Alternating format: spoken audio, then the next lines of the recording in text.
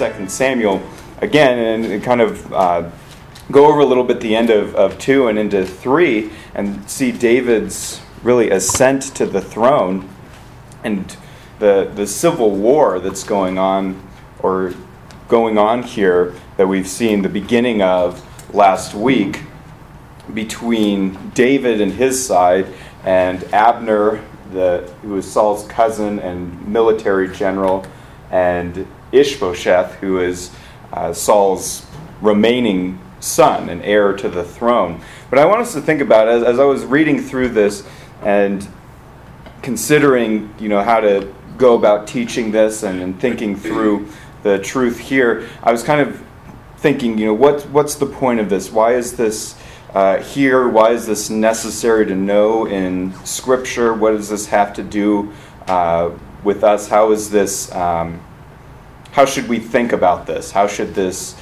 uh, help us in worship of God and in knowing the truth of um, you know how we should live our lives and how we should submit to God? And, and I was thinking, just in the terms of, uh, and I want you guys to think about this question of you know what is our purpose? I mean, us individually and us here as Crown Valley and the church uh, universal, but what is our purpose in redemptive history? What, where do we fit in? What is our, our place? And you don't have to answer out loud, but just you know, being thinking about that. What is our relationship to the, the kingdom of God and Jesus is the King? What is the church and and how and why does it exist? And and we see a lot of the, the themes coming through that, that apply here that still uh, apply to us. That that really the kingdom of God and the reign of God is being here, as we see it in 2 Samuel, worked out historically uh, through God's king.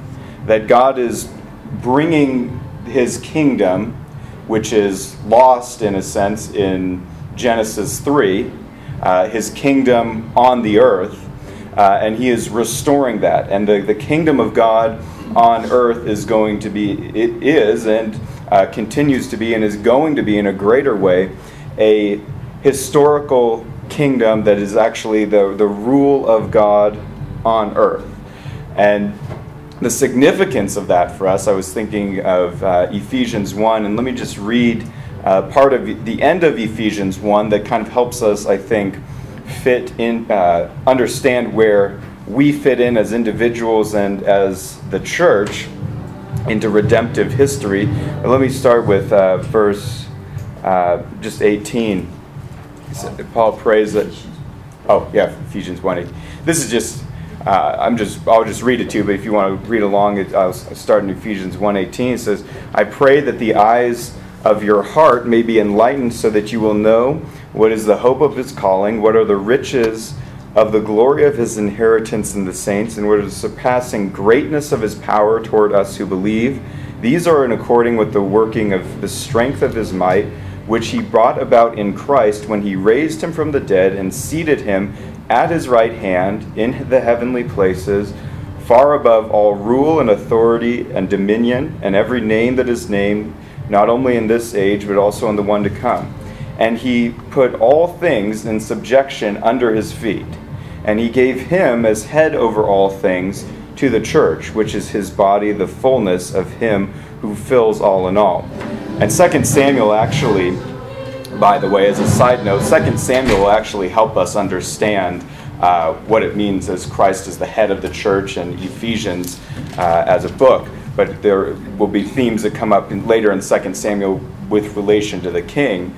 But what Ephesians is driving at is that it's showing the church of the Christ. It's showing that Christ is the head over all thing, above, above all rule and authority. He's the king of absolutely everything, and that uniquely he has been given as head over all things to be the head of his church, and that the church is supposed to represent and witness to the fact that the kingdom of God is going to be uh, a reality that is going to uh, come to earth, that is going to be a historical, real kingdom that's going to in which Christ is going to reign on the earth, and the church gets to be a part of witnessing to that, that that is going to happen. So every Sunday when we show up, you know, we go through the week, we do all these things. the, the point is that Jesus is the head over all things, but we get to show that he's the head over us, he's the head over the church. And that's seen in a lot of ways being established in 2 Samuel, that the church is this, uh, that in our time, the church is this history altering institution. It's not the full expression of the kingdom of God on the earth, uh, but it has this unique witness and this unique representation of who God is and who Christ is. And it has for, for 2,000 years done this. And the purpose of God in history is to uh, put his kingdom on the earth and to rule over the earth through his anointed king. So we see that in David.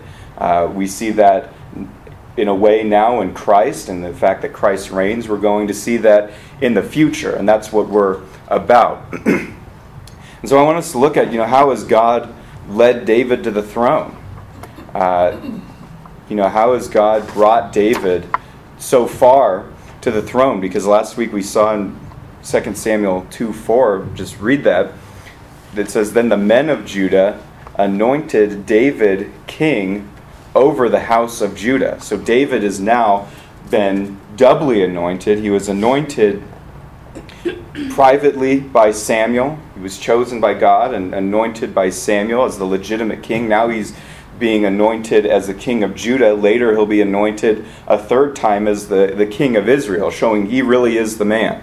He really is the chosen uh, king by God. And so David is truly the anointed king. And we saw this last week. But there's this contrast between David and his kingdom and the acceptance of David and God making David king and David inquiring of God and being brought to the throne and Abner, who basically seizes Saul's son Ishbosheth and says, You're going to sit on the throne, but Abner's really the one who's in charge. I mean, and, and think about this. This isn't just a, you know, a Bible story. This is a real, uh, these are real historical events where these things are really happening. These, these governments and powers and institutions and people are trying to war for uh, the throne of Israel. And the throne of Israel doesn't just represent just like any political throne that people might fight over, but the throne of Israel is going to basically, if, if Israel was to obey God and the king is to obey God, means that they're going to take over the earth. It means it's going to be at the top above all nations and that God is going to rule on earth through that king. And so the stakes are high and both sides are, are fighting over these things and there's these people who are in David's way, but he can't do anything about it. There's Abner, who's Saul's cousin and military commander. There's Ishbosheth, who has a, a claim on the throne.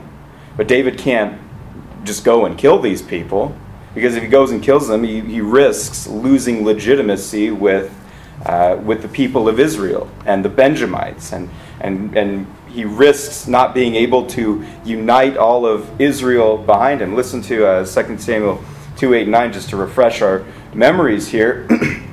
and listen to the language. This is uh, purposefully written this way. It says, But Abner, the son of Ner, commander of Saul's army, had taken Ishbosheth, whose name his name means man of shame. Okay, so just keep that in mind.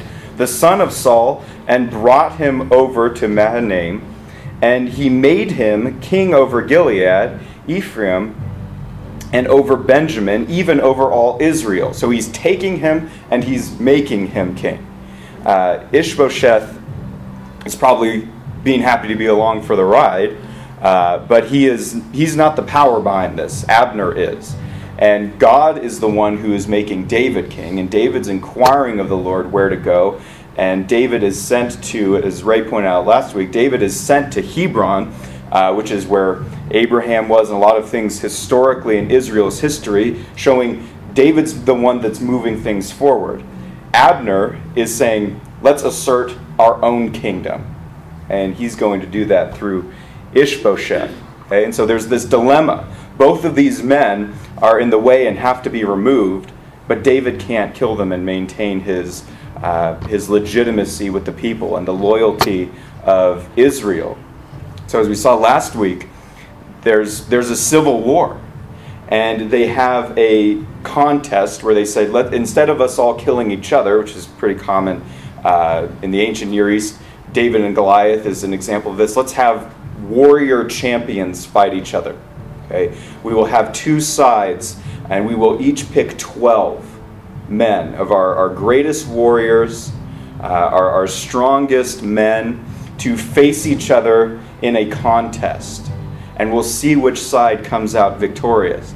And I want you to think about this. There's a lot of drama in the Word of God, but if you were writing a book, or if you were writing a movie script where you had David, who's the good guy, and, and Saul's son and Saul's cousin and you know military commander fighting, you know, choosing their 12 men, and they're going to go up in this kind of, you know, imagine like a gladiatorial type of thing and, and fight each other. Think how you would write the story. Because I was thinking myself, I was like, okay, I'd either have David side win like overwhelmingly, no, no, none of the 12 die, or I would have them fighting each other and really dramatically and have like the last one of David's men survive. And then, you know, it shows like he they fought through, but David's side was, was stronger. Okay, but just by that one man and really dramatically, uh, almost dies, but, but survives at the end. Uh, but what actually ends up happening, listen to verse 16, and we wonder, might wonder why this is the case. Why do they even do this? So each one of them, so these are the 12 and 12 going against each other, each one of them seized his opponent by the head and thrust his sword into his opponent's side. So they fell down together. Therefore, the place is called Helkath Hazarim, which means field of sword edges, which is in Gibeon. The contest is a stalemate, it is a tie that settles nothing. All 12 men on each side all killed each other. Nobody, nobody got out alive. And so all 12 of them, on each, all 24 of them, I should rather say, died you know, why is this here? Why did the Lord allow this to happen this way? You know, think about that. What, what does this say about the, the comparative strength of both sides? And, you know, in studying this out and seeing the, the drama here, uh, it, it's really showing that what is going to tip the scales? What is going to be the independent variable? What's going to make the difference between one side and another is not whose side is stronger and who has the, the military strength and prowess. It's going to be which side is God on and which side is God going to grant victory to. So there's they're shown to be equal uh, in a way, and this you know so this since this settles nothing, a fight breaks out and a civil war uh, ensues, and so they start fighting each other. And a, a civil war, a true civil war, is a, a fight between at least two factions for the control of a, of a government or a political state.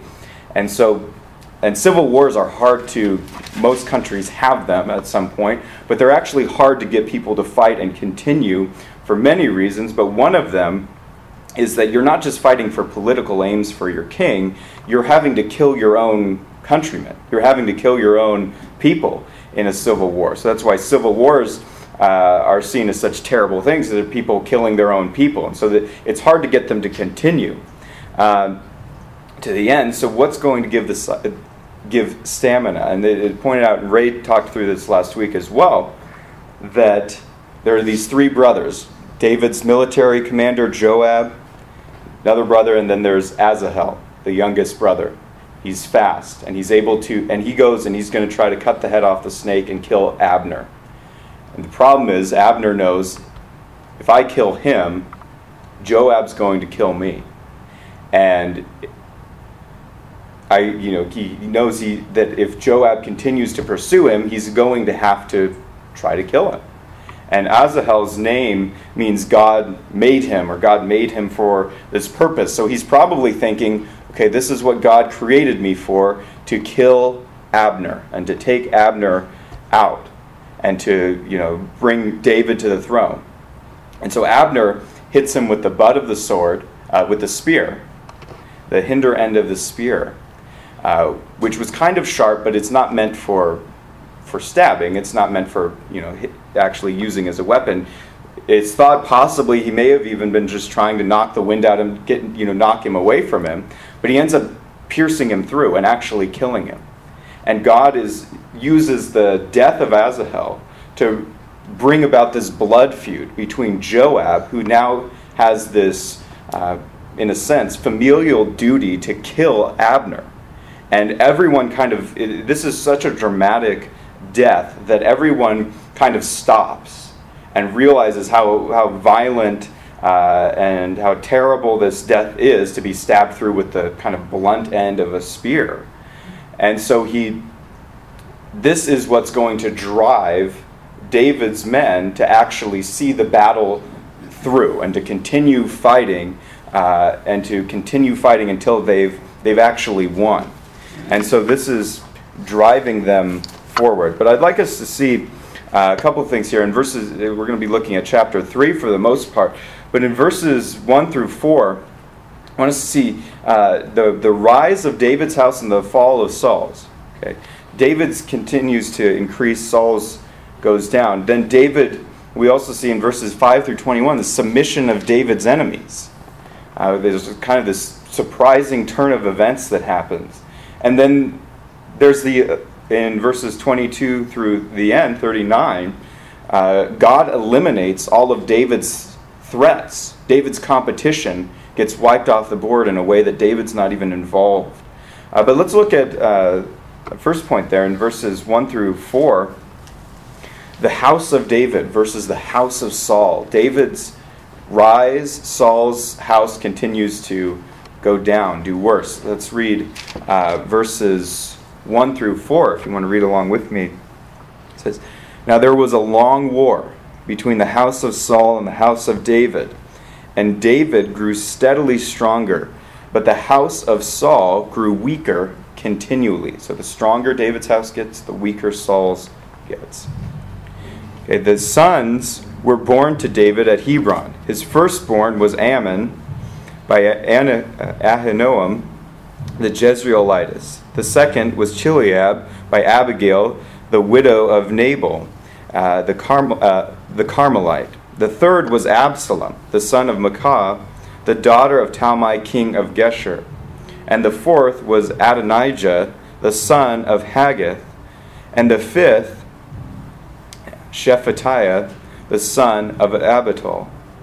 And the sixth, Ithream, by David's wife, Eglah.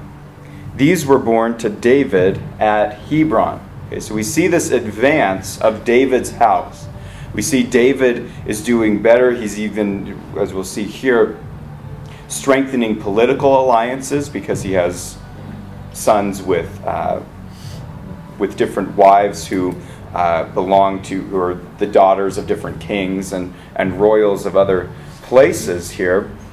So we see historically uh, God setting up the kingdom and the throne of David. He is God is making him successful. He's causing him to progress, to gain power, uh, and it's becoming obvious. It's becoming increasingly apparent who God has chosen. That God has chosen David. And I believe it starts to even become obvious to Abner, as we'll see later on in this chapter, that, that he is, with Ishbosheth, picked a losing horse. That he has picked someone who he is, is guaranteed to lose. Uh, and so we'll see that in a bit. But from all outside perspectives, political and otherwise, the kingdom of David looks unstoppable and without any weakness at all.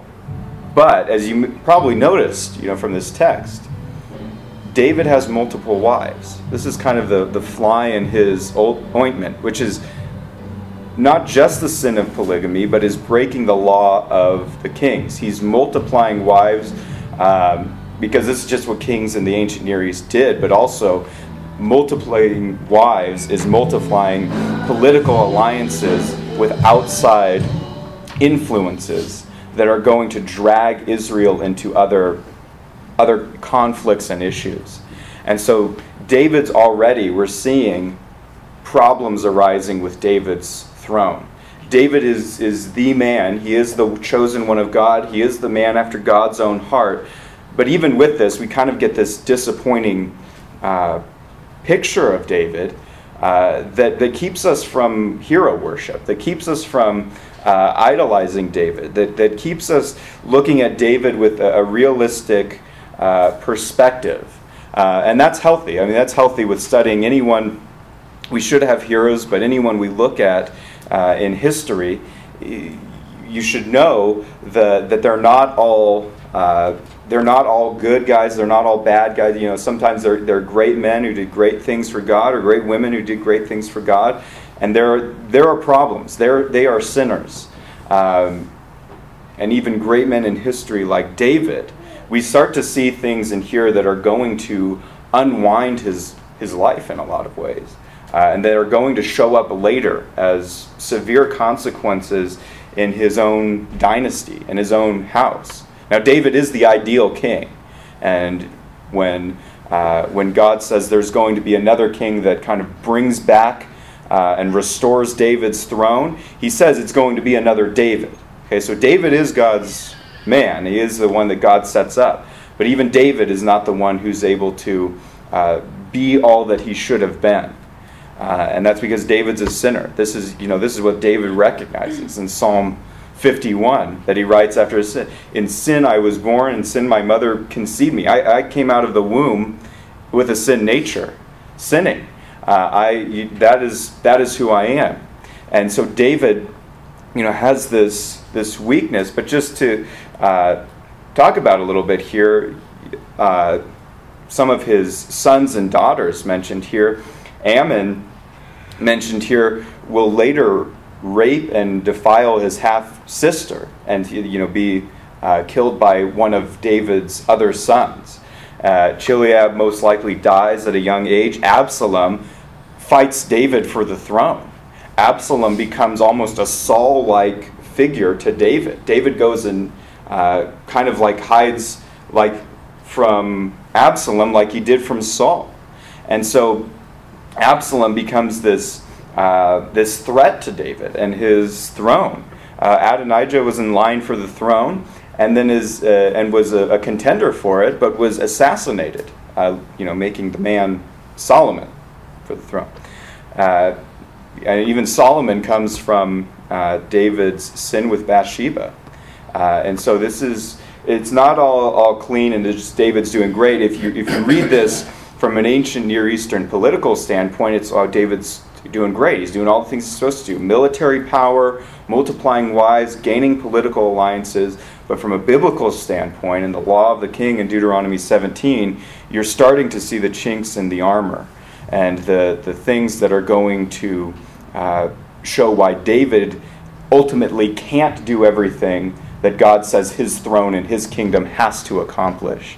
Uh, and that's why you need a, a greater David. That's why you need someone to, to resurrect what uh, the Davidic throne. Uh, so we see that here, uh, and so you know with the with the good stuff, there's the bad, you know, mixed in uh, right along with it. Um, but the true power we mentioned, uh, you know, the other side, the true power behind uh, David's throne is is God. But on the other side, Ishbosheth, the true power is Abner. Okay, that's obvious. Ishbosheth would not have been made anything uh, if Abner had not made him king. His name is, is man of shame. Okay, uh, and so here we see this tension uh, between re- the relationship between Ishbosheth and Abner starts to break down, and this is you know what it's talking about. Saul's house grew continually weaker. Uh, listen to what it says. Let's read verses six through eleven says, And it came about while there was war between the house of Saul and the house of David that Abner was making himself strong in the house of Saul. So now Abner's the one advancing.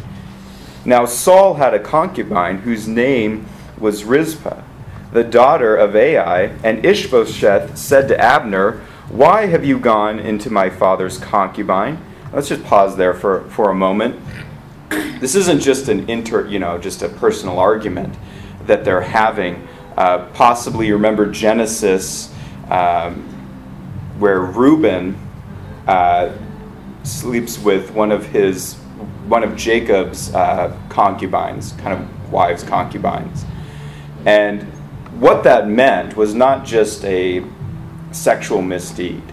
uh, or a deviancy, uh, though it was. To do this in this historical context, um, if you took a man's concubine like Reuben did, it was saying that you were now uh, the patriarch. You were now the head of the house. Uh, to do this for a king, if a man took a king's concubine, it was saying, I have a right to the throne. I am asserting that I am the one who is now in charge here. I am the one who is uh, who's showing that I'm I'm ready to take over. And we don't know. There's different uh, writers think different things here. Uh, some think that that Abner, yeah, definitely did this, and you know this would make sense, uh, and I follow that, and you know I think that's probably uh, something that could have happened for sure. Um, Abner's reaction is that you know he he says he didn't do it. Um, I mean, but what else are you going to say? Uh, but either way, it comes to the same thing. There's there's this fracture in Saul's house that is going to break the whole thing apart, and it's going to fall apart. And Abner's realizing if I'm not going to be able to be the one who's in charge here, and Ishbosheth is going to start giving me issues, I'm going to ditch him because he's he's a loser. I'm I'm not going to get anywhere with him. I'm not going to gain any power with him. I'm not going to gain any influence with him. I'm going to gain it with David. And so there's probably mixed motives here, but um, but as we see, it doesn't always speak to that. Uh, but you can kind of pick up on you know what's going on here. Let's read along with me in verse 8. So then Abner was very angry over the words of Ishbosheth. And he said, Am I a dog's head that belongs to Judah? In other words, am I a traitor? Am I, you know, some Judahite and, you know, not loyal to you? It says, Today I show kindness to the to the house of Saul your father and to his brothers and to his friends and have not delivered you into the hands of David.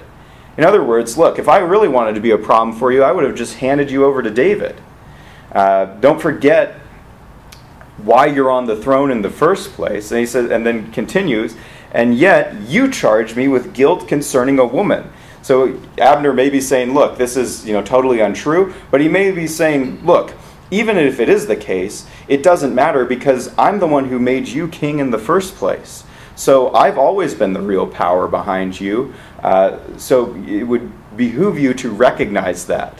Uh, and then verse 9 this is where there's a, a surprising shift here, a, a real plot twist.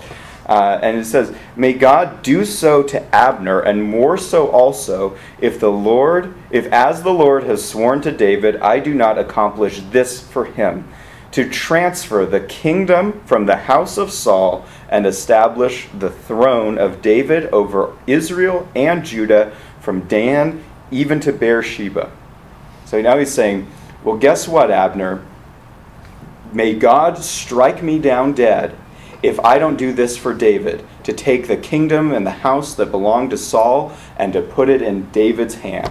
In other words, I'm totally switching sides. I'm going over to David. I'm not going to be loyal to him, to you. I'm going to be loyal to him.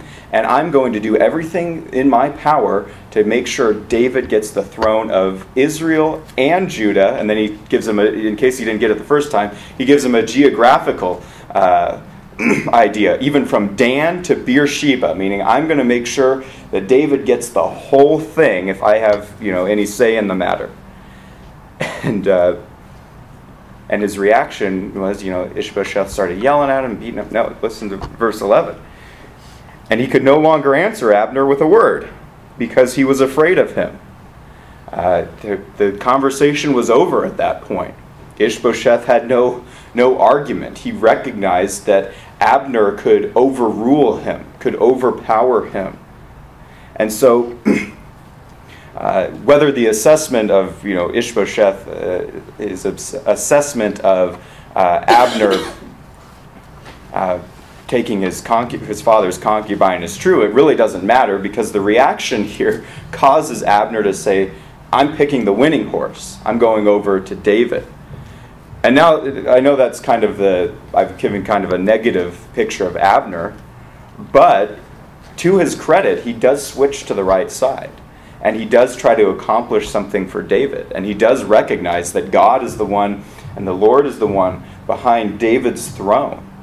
And uh, something that, just as a side note here, that may be helpful for us remember, as Mr. Moore was preaching the last couple weeks uh, and talking through Acts 2, which Peter, when he preaches the evangelistic sermon to the Jews, he's quoting and expositing Psalms of David, and he's quoting that are based in 2 Samuel. So remember what he talked about the idea of kingdom and throne and house.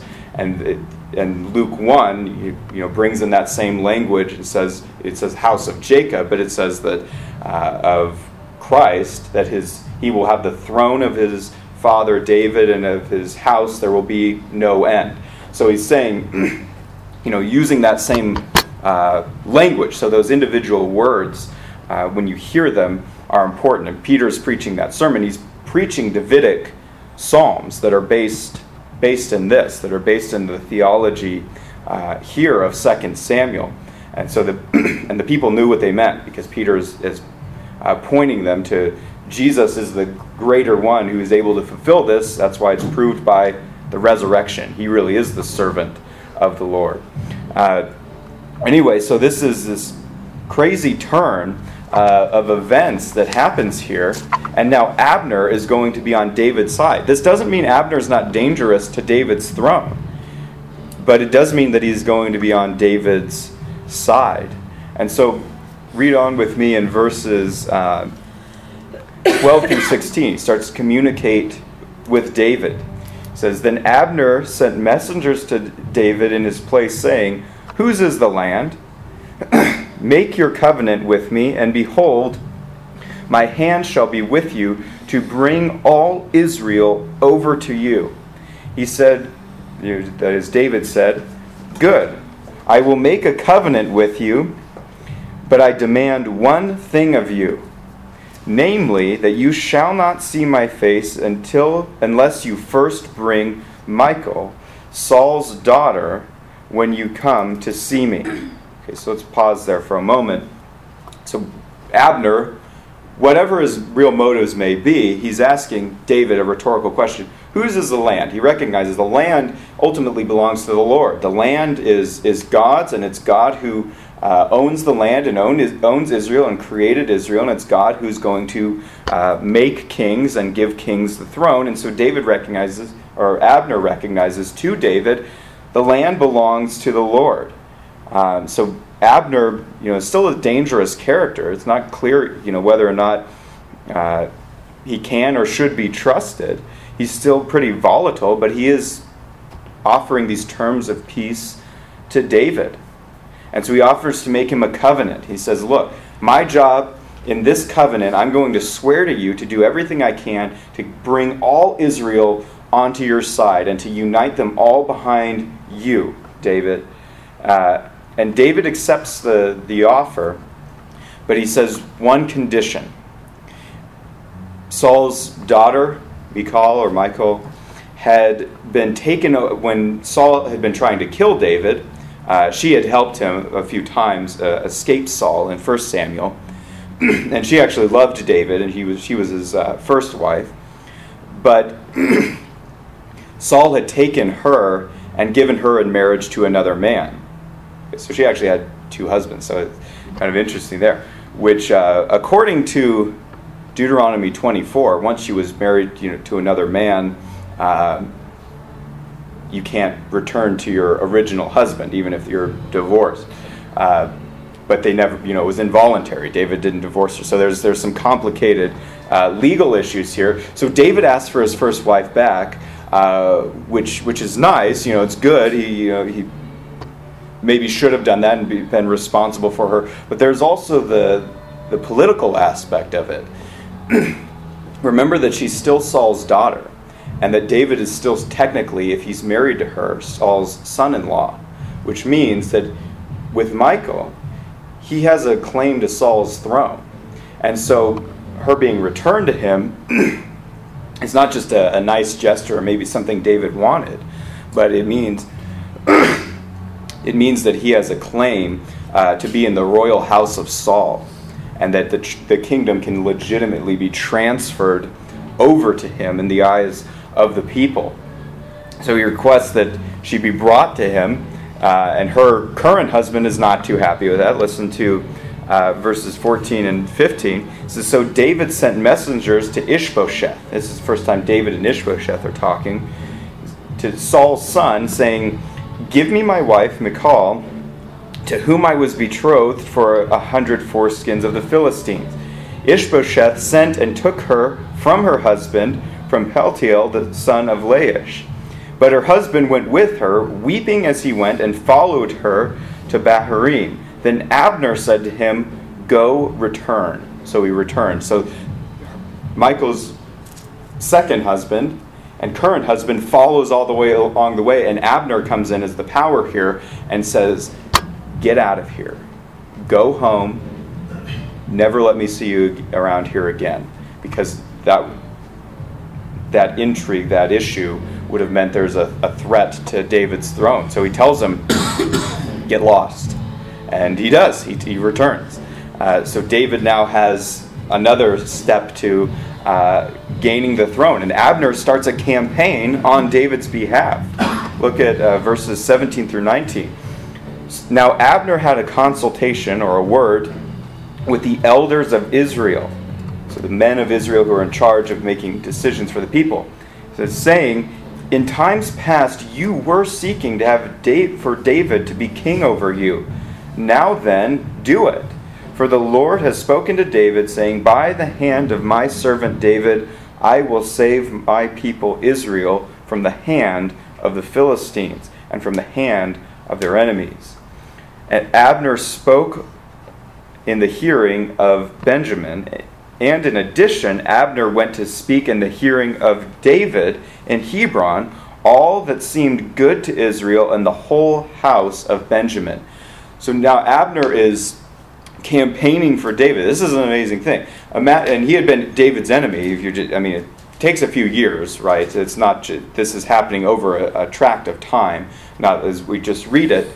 But he had been in charge of the civil war against David taking the throne. Now imagine, you know, in our two political parties, if there's uh, one candidate during the you know 2016 presidential election who says, you know what, my party's not the winning party. I'm going to throw everything off and totally go over and now support and campaign on behalf of this other candidate and this other party to ensure that they win. And I'm going to throw everything I've got behind them and try to convince people with every uh, mental power and word that I have that this is the person who should be president. I mean, could you imagine how people would react to that? You know, how many, uh, what the Huffington Post would say to that, the New York Times, you know, how uh, crazy that would be. But this is uh, somewhat akin to what's what's happening here. Abner's this this respected power, and now he's saying, "I'm throwing my lot in with David." David's the man, and he reminds them, "Look, you wanted David to be king over you." And you recognize that when Saul was king, because remember, Saul and David worked together for a long time, and David was the one going out and becoming popular with the people. And then David probably kind of fell off their radar for a while while Saul is trying to kill him. Well, now David's back. He's king over Judah, and you've got uh, one of Saul's own relatives and military commanders and people, a recognized man, arguing, saying, David is the man, David's the one. Uh, and so this is, you know, this is an amazing thing. And he, and he reminds them, he says, God has spoken to David, saying, you know, spoken of David, saying, by the hand of my servant David, I'm going to save you from the Philistines and save you from your enemies. And so we're introduced to a very important uh, set of, of words here. And it's the idea uh, of the servant of God, or when God says specifically, someone says, he says, my servant. Um, there are different uses of that word that where servant comes up. Uh, so it comes up in some very specific context, though, uh, where it has a very particular meaning. By the hand of David, my servant, I will save my people Israel. And David is called in the Old Testament, not even just during David's lifetime, uh, he's called my servant by God some 30 times. Uh, and this isn't just a throwaway term like, yeah, he serves me, he's one of my, you know, he's one of my guys, he's one of my men. The language of servant of God uh, or the servant of the Lord, or when God says my servant, is very significant. When the Bible speaks of the servant of God, it means one who's being used to move redemptive history forward. Uh, it means someone who's helping the plan, who's being used uniquely by God to progress the plan of God in the world. Uh, you know, this is like Abraham or Jacob or, or Moses uh, or David. Okay, so this is this is a very specific uh, term, and, and, this even shows up in the uh, the institutions of Israel. Historically, the servant of God on earth is is the king. That he maintains that political uh, dynasty in the land of Israel and maintains the law.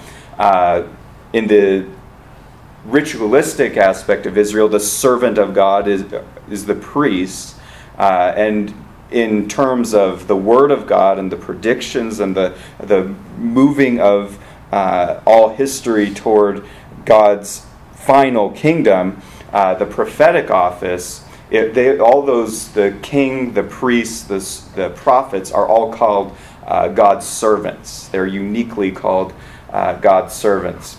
Uh, let me give kind of an example of how this works. Because to be a servant of God meant you, you kind of embodied all that Israel uh, was supposed to be. That's what Israel was supposed to do. Um, in Americanism, we kind of have an embodiment of, uh, of America in a person, like Yankee Doodle or Uncle Sam, or something like that. That, that individual, though imaginary, is, is meant to represent all of what it means to be American. Okay? Uh, the idea in Israel had two kind of concepts that both of these were what Israel uh, and the people of God were meant to be. They, is, they, were, they were the son, God's son, and God's servant. Um, Israel, Exodus 4.22 says, God says to Pharaoh through Moses, uh, Israel is my son, my firstborn. Uh, and Israel is also recognized in Isaiah and other passages as he says, you know, behold, Israel, my servant. Uh, Israel is, is the uh, mechanism by which God is, is moving history forward and his kingdom forward, and they're recognized as son and servant. David uh, and the other kings who are in David, David's sons and David's line, they are also recognized as God's son. Well, uh, in uh, 2 Samuel 7, we'll see that. He'll, he will be a, a son to me. Uh, Psalm 2, uh, God says you to the king, You are my son. Uh, today I have begotten you. Uh, and the, David also is here referred to as the servant, my servant David. It also comes up in Isaiah. Isaiah is long after David is dead, but talks about David, my servant, will do these things. Um, and then Jesus, ultimately, he's, he's the true son and the true servant. He's God's son. Psalm 2, same thing.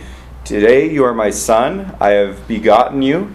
Quoted by uh, Matthew. That's what God spoke when Jesus is anointed uh, by the Holy Spirit at his baptism. This is my beloved Son.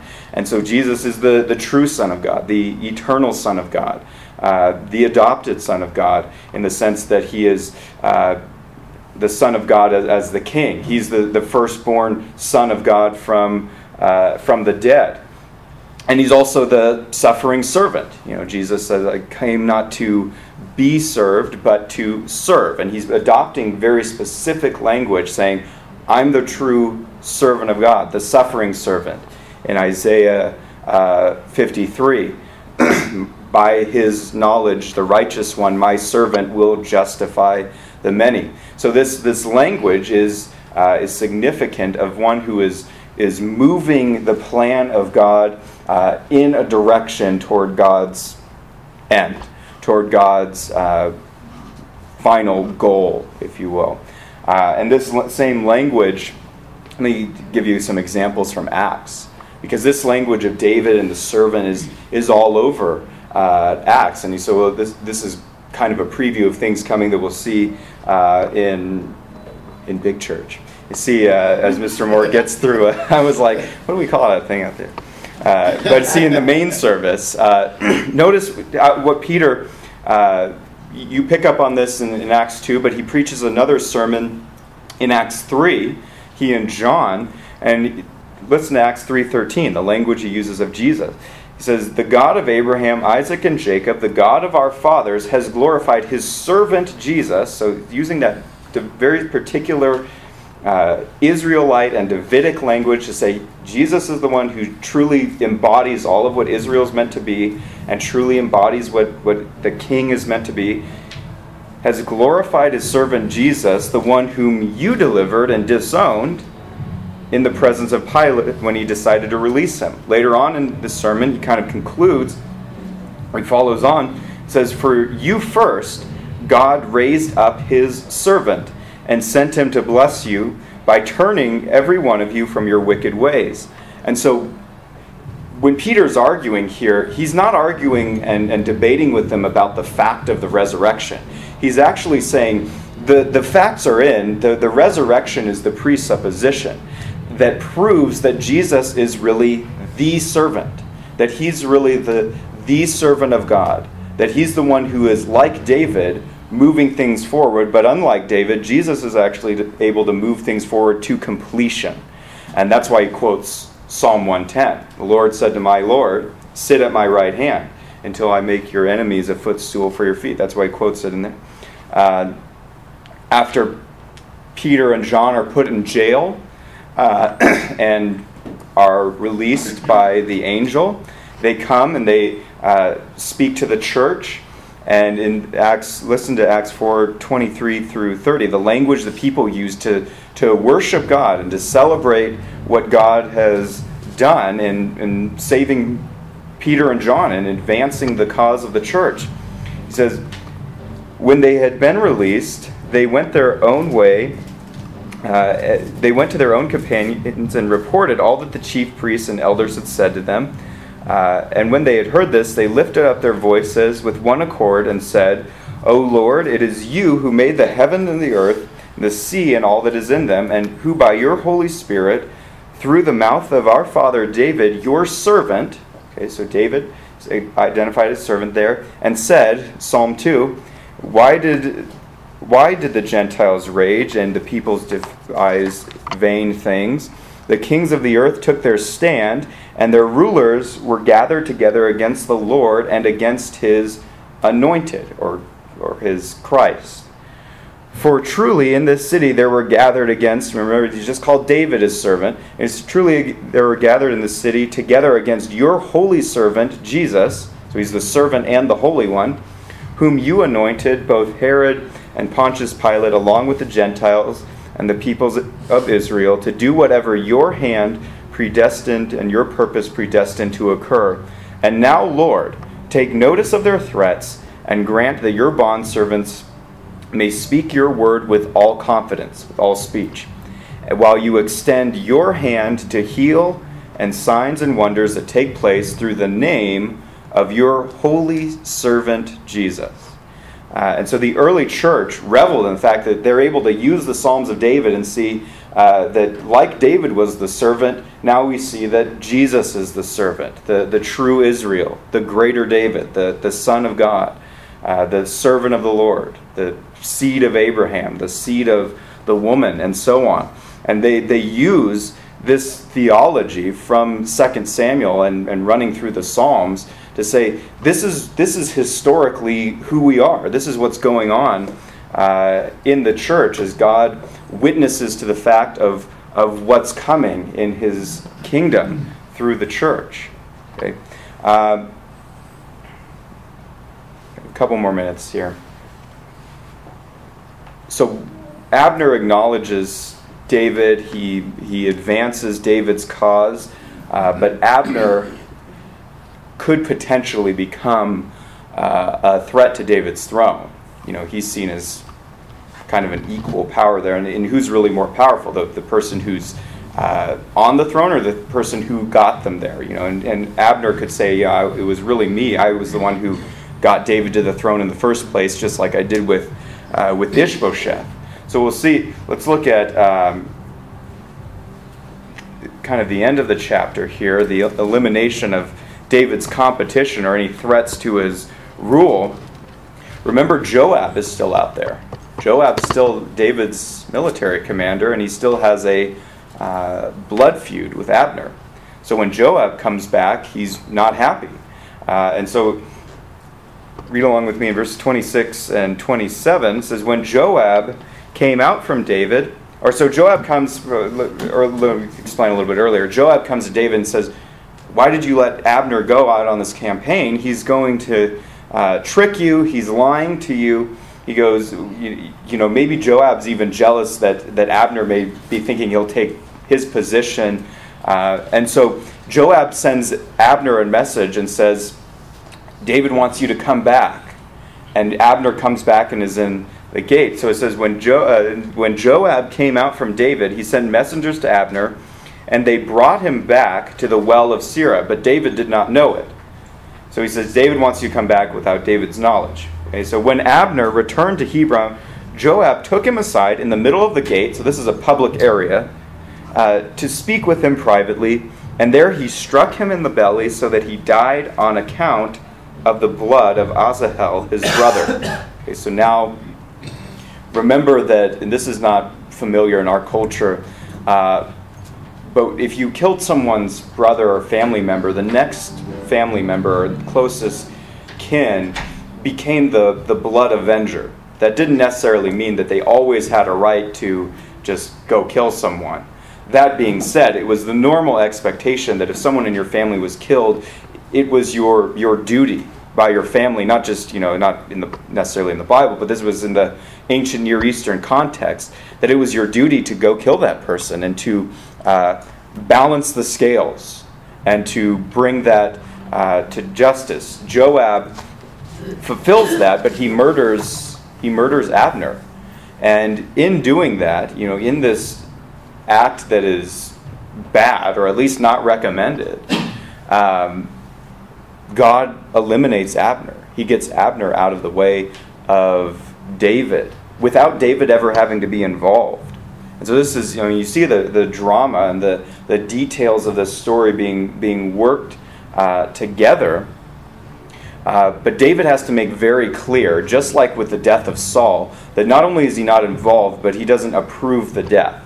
And so there's a, a kind of repeat cycle of the death of uh, Abner, you know, the death of Saul. he heard about it, did not accept it as good news, and he mourned and fasted. Same thing happens here. He mourns and fasts for Abner, and they see that and they recognize that. Later on, same cycle is going to continue uh, because Ishbosheth is still still out there, still alive. Two things I'd have you notice just in the ending verse. Verse 31, David for the first time is called, and it's translated this way in kind of the proper noun form, King David. Now, King David did this. Okay, so he's being recognized as the true king. His, his mourning over Abner gives him even more legitimacy with the people of Israel. It pleases them, and they want him to be king even more. So that death uh, advances David to the throne another step. Verse 36 Now all the people took note of it, and it pleased them, just as everything the king did pleased the people. David is acknowledged, David is uh, seen to be the right man. And so the life of David uh, ultimately here and, and this is where it gets uh, exciting, or should be exciting for us. The life of David demanded an encore presentation uh, that, that was even greater. Uh, and we, we know who that is, and we get to demonstrate uh, uniquely who that is. Let me read one final verse in Ezekiel 34 23, predictive of what you know, we now experience. Says, Then I will set over them, over Israel, one shepherd, my servant David and he will feed them he uh, will feed them himself and will be their shepherd. And i the lord will be their god and my servant david will be a prince among them. I the lord have spoken. This is way after david's dead saying there's a coming david who's going to be the good shepherd and the prince of the people. And so we get to demonstrate that uh, as the church and join arm in arm with the church for 2,000 years, uh, who has represented uh, that, that Jesus is the head over all things, and we get to show that because he's the head over us. So let's uh, close in a word of prayer, and um, you know, hopefully this prepares us uh, for worship in a sense of anticipation of uh, worship in the next service. Lord God, we thank you and praise you again for your greatness. We thank you that we can see how you have worked in history, uh, that you've worked in your servant David, but ultimately in your servant Jesus, who is uh, the Holy One, who is your true Son. And Lord, we worship him this morning. It, all that you have done in redemption of your church and in this earth has been done in Christ and we are in Christ by our union with Him. And so, Lord, we pray that uh, that will lift up our hearts and our minds uh, to higher things. It will cause us to uh, exalt you, to worship you, uh, to adore you, and to contemplate uh, your greatness and change in relation uh, to it, Lord. So we pray these things. We pray for your honor and glory in this worship service this morning. In Jesus' name we pray. Amen.